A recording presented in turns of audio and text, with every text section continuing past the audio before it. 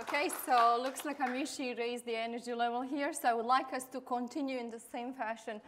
Um, let's see, this, is, this track is about changing culture, and I'm just curious to see who here uh, is in, uh, in a role in their organizations or, or communities that uh, is leading currently a culture change program or is managing it or um, uh, is advocating for it. So please raise your hands and, sh and shake your hands. And please continue to shake your hands. So now I want to uh, ask to other to join us, those who are affected with the change. Continue to shake your hands, please. Okay, and is there anybody here who is by mistake in this session who wanted to go somewhere else? Okay, I think I all hands should be up by now, and maybe someone who just recently retired and wants to make good friends. Okay, so uh, let's pause for a moment and bring our hands down. And just give ourselves a second to feel pulsation of blood on our fingertips and feel a beautiful sensation to be alive. So uh, for, for those who, I, I, uh, I'm not a mindfulness expert. I lead innovation program in a large chemical corporation. So my perspective will be slightly different. So what's the role of mindfulness and being present for innovation? Uh, but uh, in my spare time, when I get a moment, I, uh, I love Reiki. I'm not a typical uh, insight meditation practitioner, but I practice energy meditation. So this is a little bit of uh, exercise from our uh, energy meditation practice. So,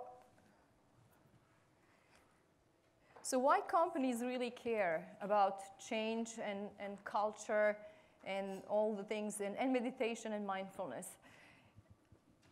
We uh, really, what we care about is really growth. And if you see there is a lot of pressure to grow. 80% of, uh, of uh, actually 80% of the factors that uh, we, uh, that companies actually stop to grow is internal. It's not external. We may think it's the uh, really marketplace can change, but it's really about being able to adapt. So the, I'm just going to read some factors that are internal factors. It's usually what I say, we stay too long on a premium position activity, so that contributes about 23% to why, uh, why we don't continue to grow. Uh, innovation management breakdown, 17%.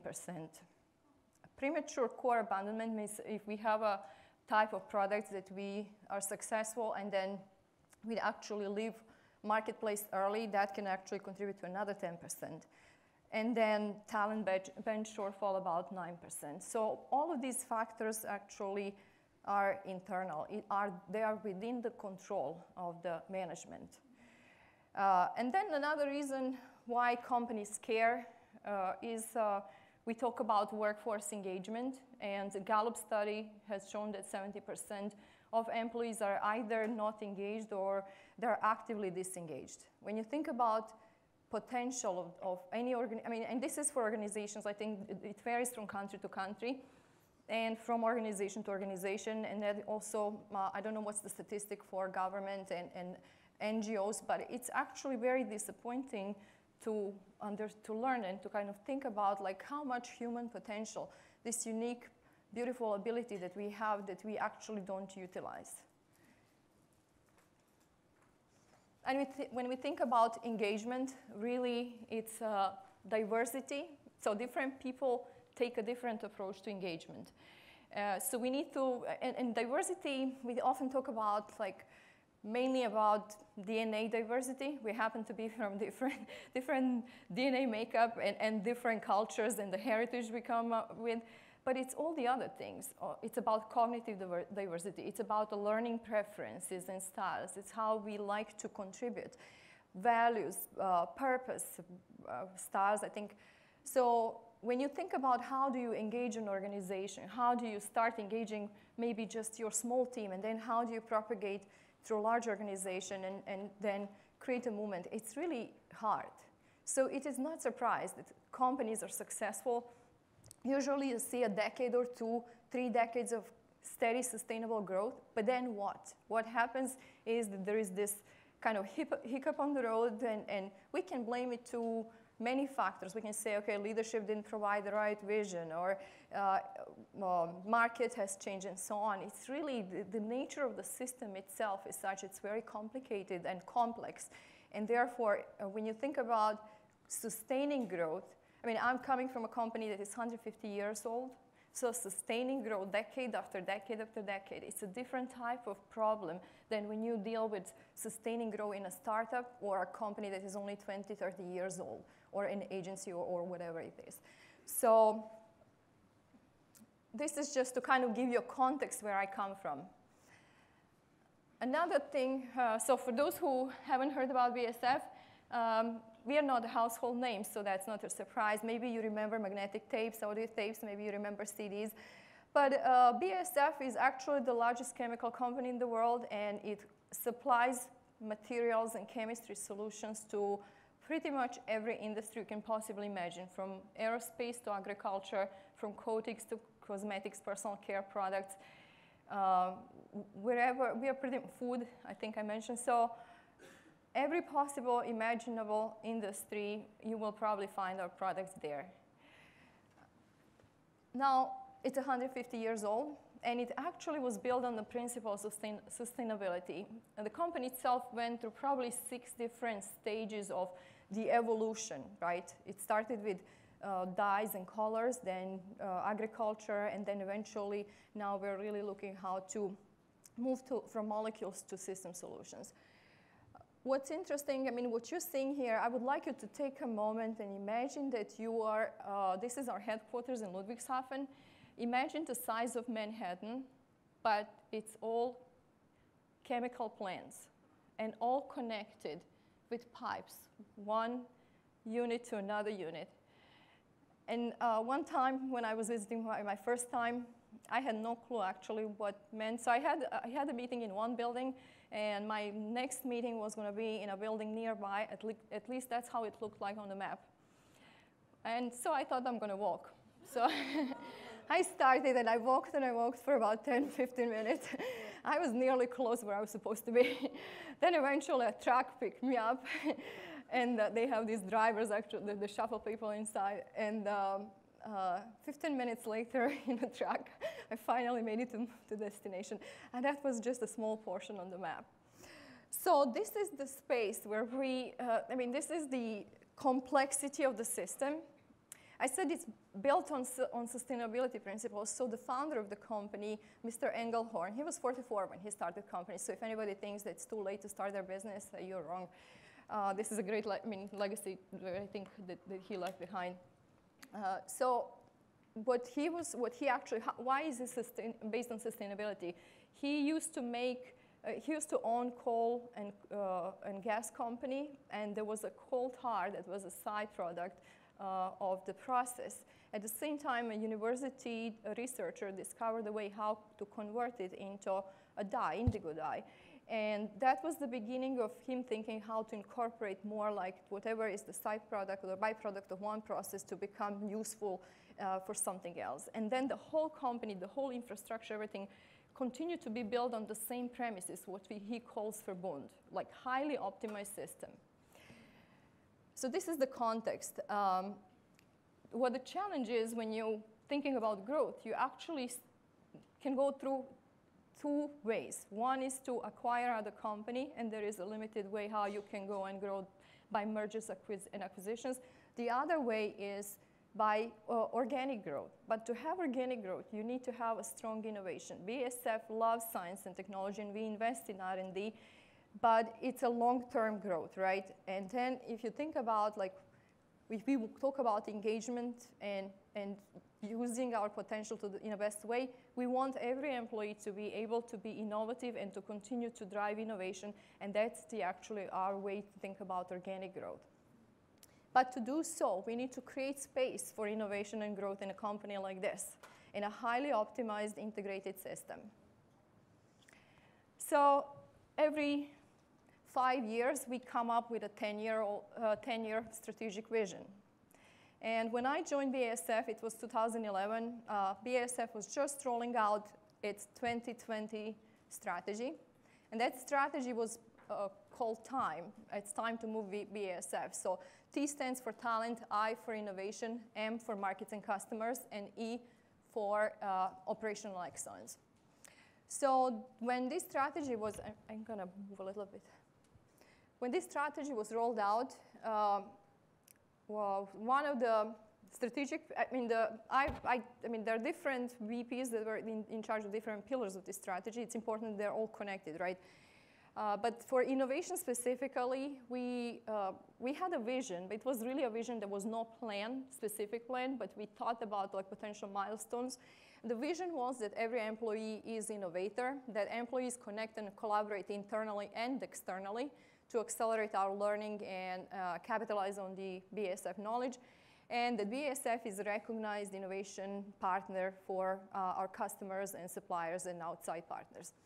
So this was the vision, and, and I started in a role of open innovation, which means that I, I was supposed to bring our university partners, our small, medium-sized companies, and other industries we team up with to uh, continue to build innovation pipeline. Uh, as we were in the process of kind of trying to understand what we do and how, you know, what are the resources and put the systems for management of portfolio and so on, there was a, actually a aha moment in, in this point, and I realized that our barrier for growth was much more like on the inside rather than outside. Companies, of course, were interested to partner with a large partner and to tap into broader markets, but we, we, whether we were ready or not, that was a, a different question. And that question was really more about like how we were wired internally and where uh, at that point I was, uh, you know, I was leading it from North America in actually one, one kind of information in North America at BASF, we have 50% of employees less than five years with the company. Uh, they joined either through acquisitions or they were recently hired. And another challenge is that we were all uh, across the region. So being able to connect and actually know the inner work and kind of work efficiently together was not a trivial task. So uh, in order to build, so I realized before going outside and actually being a best partner of choice you can be to your external partners, we actually have to go a little bit step back and look inside and do some internal capability uh, development. And for any change to happen in a large organization in, in a complex system like this one, it had to be really assist, you have to tackle things from a multiple points. Uh, multi-pronged approach was necessary in our case. I don't, I don't know, like it, each organization will have their own, like we heard the story from uh, Julia today, uh, how Mondelez did it, it's more, more like intervention. In our case, we really had to look at it like more as a, what are the different components of the system of innovation capability that we need to build and integrate and continue to, to develop uh, and propagate through the organization so that all together we can make a difference. Otherwise, it's just going to be another program or another initiative in a big, huge system, and it's going to get lost. So I'm going to focus only on three uh, middle parts. Here, uh, a culture and climate ecosystem and uh, skills and competencies. And I'm going to start with still, uh, skills and competencies first. So um, innovation, many things, uh, or in skills for innovation, often was thought it's a talent. You have to be born as an innovator, like or a creative or whatever. It, and then you know, somehow we go and we invent things, right? But there is a system and there is a process and it can be taught.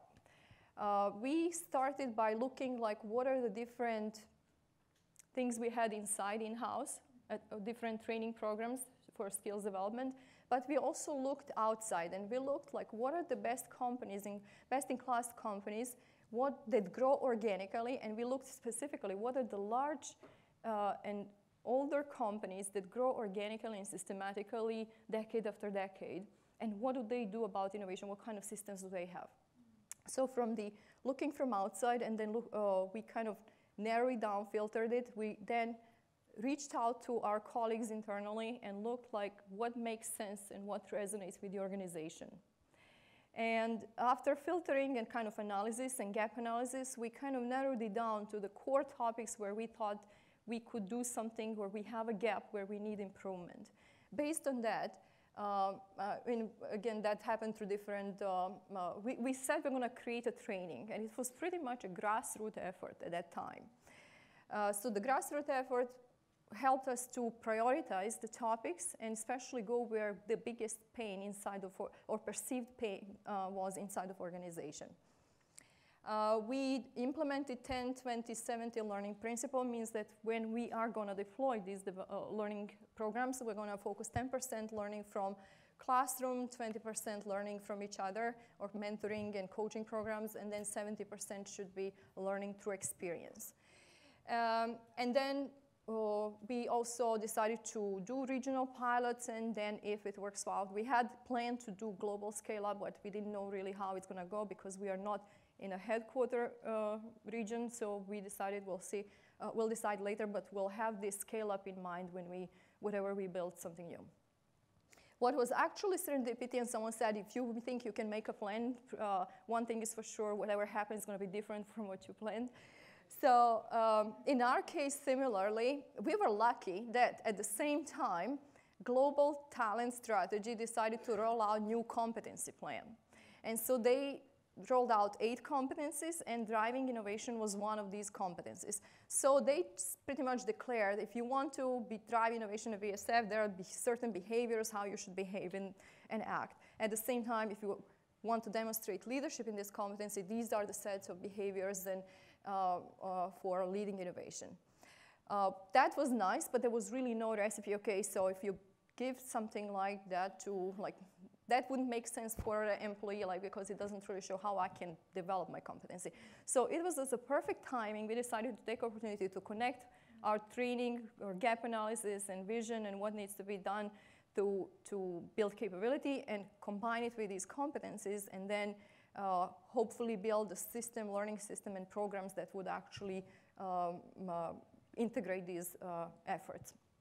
And what I'm showing there, it's more like a framework uh, for, our, for us what driving innovation competency looks at uh, or feels like at BASF. And I can maybe just, uh, we had some existing programs. They're more on the process side because we are very good in coming up with the processes and the phase gate and other systems like, like uh, any other company would have. Uh, but where the biggest gap was from these surveys was that it's really about creativity and about solving problems together as teams.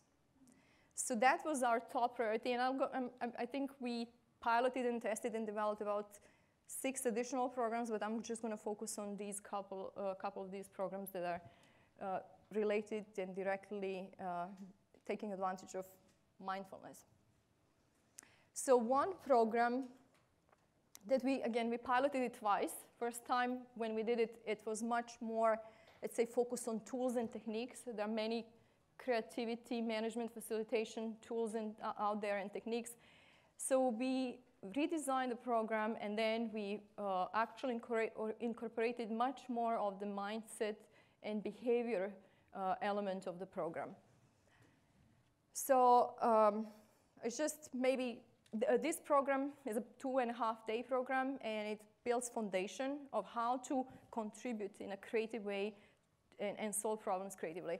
Uh, we take teams and individuals, so individuals, and then we had nine sessions last year created. Uh, program had such a great word of mouth recommendation, so there were all the programs were filled, and we had two additional intact requests for the teams to go through. So if someone would experience it, they would actually want their whole team to go because when they go back, their language was changed a lot of language was all about deferring judgment, uh, being able to separate convergent thinking from uh, divergent thinking and so on. Nice thing about program is I actually have it here. If you look at just some of the stages, uh, there is a stage called search. So the search is really about insight. It's about quieting in, uh, your mind and kind of thinking and, and sensing what, what are the opportunities, what is to understand the situation, create a meaning, and so on. Because we found that we are really good in solving problems if someone defines problem for us, but searching for what's the right problem to solve, that's actually another muscle we had to build. Uh, and um, so I, I, won't go into the details, but basically this, is uh, this was grounded on the theory of how people learn and how they uh, apply their knowledge. And so we have different preferences, so to speak. Uh, some like to learn by doing, some like to learn by thinking, some like to apply knowledge to generate more options, and some like to apply knowledge to analyze and make choices right? It goes back to are we using executive network or are we are more into meaning making type of default network. Um, and when people recognize that they have a default preferred way of thinking, then they start, uh, we, we help them learn to accept different other styles and preferences and align everybody like it doesn't really matter what's your preference. It's really if you can manage where are we in the process of discovery from insight to invoice what we call end-to-end innovation. Uh, do we need to do further exploration and searching and do we need to think conver convergent about it or maybe divergent? And it's actually helping teams to be aligned to be at the right moment at the right place in the creative process to work together and synergize there and align their energies and thinking um, or, or being uh, to tackle the task at hand. So that's how we applied it uh, in innovation space, and then this more talks about statistics and uh, an application, so where we applied it. One nice thing that actually, again, it's a nice referral. We uh, figured out that there was a great appetite of organization, organizations, so we then developed Teach the Trainer. Actually, not really Teach the Trainer. We developed advanced program, which talks about facilitation. So people who feel really excited about the program, they were given a chance to develop skills so they can facilitate process in their teams. And uh, now we have something called Journey to, Innova- uh, to uh, Facilitation Mastery, where we have also accreditation program, and then uh, you know they're collecting different kind of facilitation, uh, facilitating different sessions and deploying it to organization. What is nice that was directly applicable to uh, affecting the business. So anything we would bring in these workshops uh, had, uh, uh, I mean, there, was, there were real problems we were working on. So in beginning, it was more like internal innovation challenges. Sometimes some teams actually worked on their innovation strategy. Other teams were working on um, specific technical problems. But recently, we opened it to customers. And so now we have uh, innovation sessions uh, facilitated innovation sessions with the customers. That's the best referral you can get. So my tip for scaling up these programs is really when your customer is excited about what you bring and they want to implement it and use it in their uh, organizations, that's the best referral you can get if you need to convince anybody in your organization that, uh, yes, this makes sense. And we can actually look actual projects that are coming from these workshops that, um, that company uh, uh can do like a more, create more business. These are just some statistics only. So we focused like when we launched it, uh, full launch like 2014. We had pilots in 2013. 2014 was actually uh, deployment in North America. In 2015 we had uh, increased uh, number of uh, workshops. This is just the North American numbers, but uh, altogether, we are we're looking for North America, which has 17,000 people, overall company of over 100,000. So we're looking to, to reach 10%, which we think is when you create the paradigm shift, uh, and then uh, kind of continuing that that in North America. But what's nice now, this program is actually part of the uh, it's scaling and going to Europe and in Asia. So it's now becoming global, and, and uh, this overall experience helped us create Innovation Academy under our CTO now, uh, and it's continuing to build towards uh, developing our innovation capabilities. Now, this is more when you talk about people, but uh, I wanted to say how beyond capability, we actually took another chance to unleash innovation and connect what we said, external part, the open innovation with uh, internal capability development. Uh, this I never imagined or envisioned that that will actually end up the way it, it did. Uh, last year was 150 years of BASF, and we were sort of lucky. The serendipity play, plays a role in, in your good if you have your good intentions and uh, allow some room for serendipity. We had a colleague from Germany to come and visit and spend five months in our group here in North America. And when she went back, she was reassigned from innovation team to communication team. And communication team was given a task to create this celebration program for 150 years of BASF. That was wonderful because what she did, she told them about why don't we make it really co-creation and open innovation. And when we are going to spend money on party and doing what we're going to be doing, why not make it really like a global co-creation program? And to my surprise and everybody's surprise, that uh, the team was open to it and the executives were open to it. So our 150th anniversary became a massive global one-year-long lab of experimentation with creativity and co-creation. So this is where actually we can engage uh, a much bigger work, kind of pretty much all organization, not just all organization, but now it was public. So all uh, our external partners, suppliers, customers, um, non, uh, NGOs, uh, universities, and so on. It was one big and interesting party. This is just to give you a scope uh, and of the size and the sense of scope and size.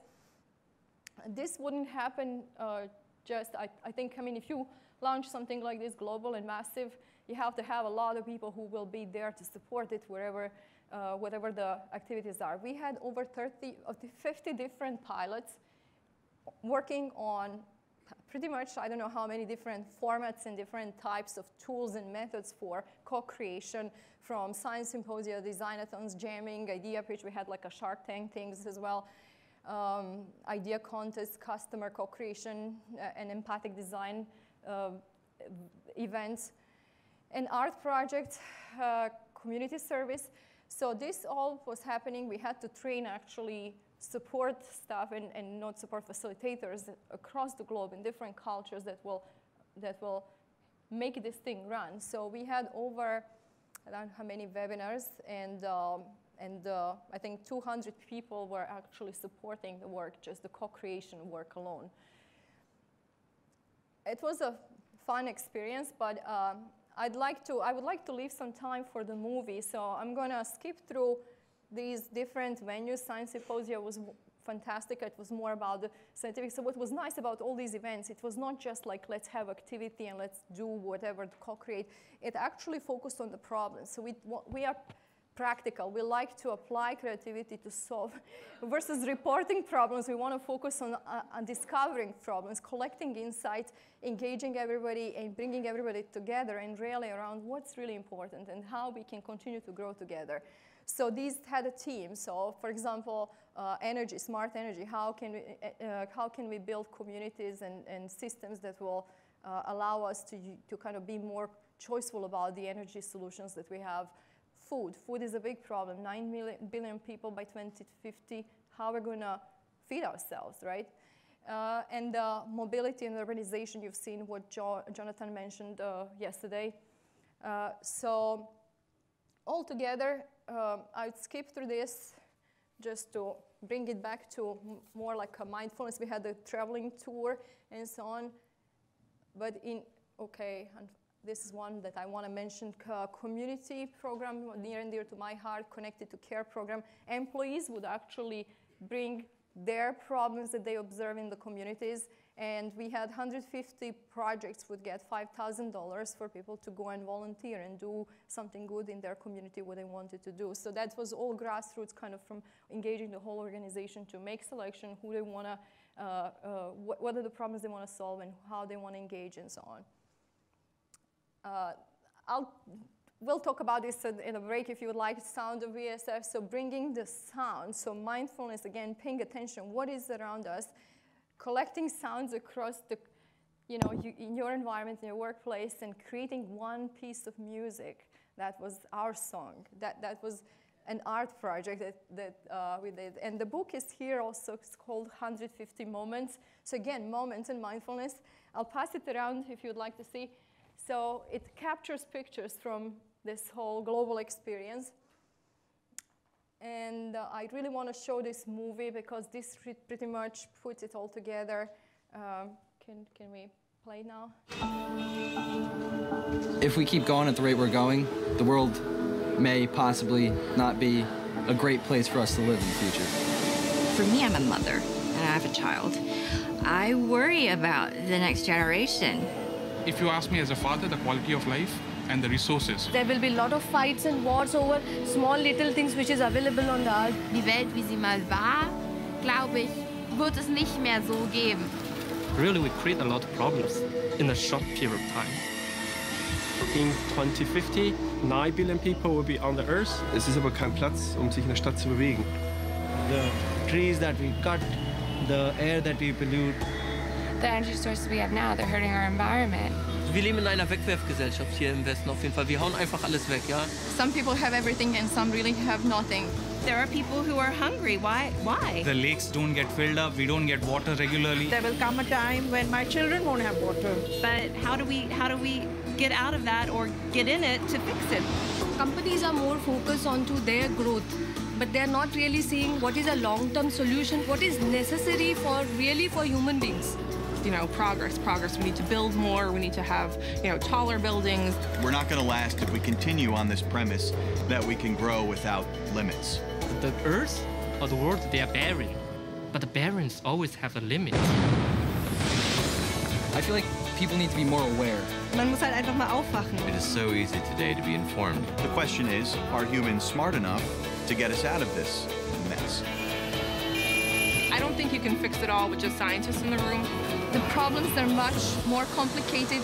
They require pretty much everybody to get on board and involved. You need to step back and look in a bigger map, yeah? Complete a holistic picture. Let's connect with people and show them what we know. Sich gegenseitig anregen, dann kann was kann was sehr sehr Gutes und Großes entstehen. We can combine the ideas, insights, opinions, perspectives so that the culture of innovation percolates through the society a bit more. Und dass dadurch mehr zusammenkommt. There will be a network of, of folks coming together, different coalitions, informally almost, to solve this problem. We have to co-create, we have to be synergized in the way we think as well as the way we act. Have a change in society so that everyone takes responsibility. Large corporations, universities, you know, scientific um, community especially. It's about creativity and thinking about where you want to be creative and, and how do you want to help out. And there are people who are speaking up and looking for solutions. If there's enough folks that want it, we get to a tipping point and we see that new paradigm happen.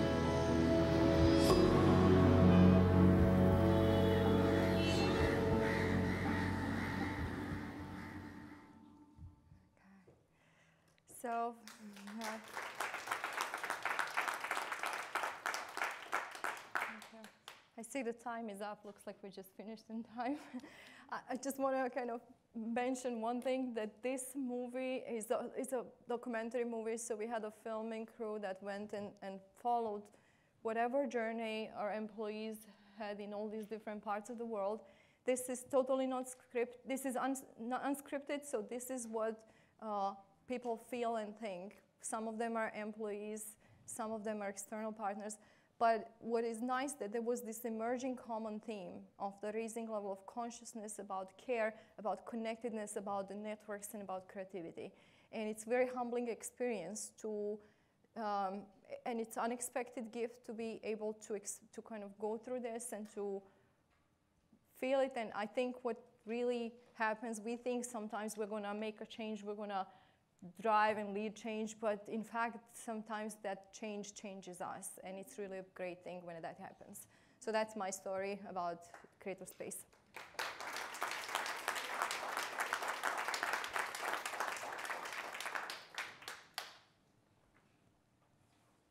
Some questions, or we have time for questions? Yeah, no, I think we have time for uh, just one or two questions, if anybody has any. Yeah. Um, yeah, sure. Um, thank you very much for your presentation. Um, coming. Thanks very much for your presentation. Um, I've been working in sustainability for 20 years, and I very much see the concept of mindfulness as like the big missing piece of that, talking about internal well-being and then, you know, what that, mirroring that on the outside. My question is, you know, because you've talked about innovation and growth and you have elements of sustainability, um, are you addressing mindfulness specifically within these, or are you talking about well-being? How are you kind of connecting the dots between these okay. concepts? So the question about connect. So maybe I'll first go how I connect mindfulness with with innovation. Mm-hmm. Uh, I mean, we can go back to these neural networks. To, so to, and there is actually a study at, uh, I think, Drexel University. Researchers show that uh, it's really I mean, the, the capacity, I, would like to differentiate between creativity and productivity. We often see here today it's all about performance and resilience and so on. To me, that's more like surviving. That's a lower place where we can live, maybe lower, lower potential versus like a higher potential. Can we live from the space of love and creativity? And I think that's the unique skill. So where I think about mindfulness and why I'm uh, interested in it is really how can we live in that space of creativity and love. So creativity and innovate. I mean, to innovate, we really need something create. Like we need to have a creativity ability to create, right? Right. And to imagine, and to uh, and the love, of course, comes to can we make it holistic? So that's my personal kind of philosophy. Uh, now, how that connects to sustainability, I'd say, again, I'll give you my personal philosophy is that it, through mindfulness, we increase maybe awareness of who we are and identity. Am I just the person who I'm standing today here in front of you?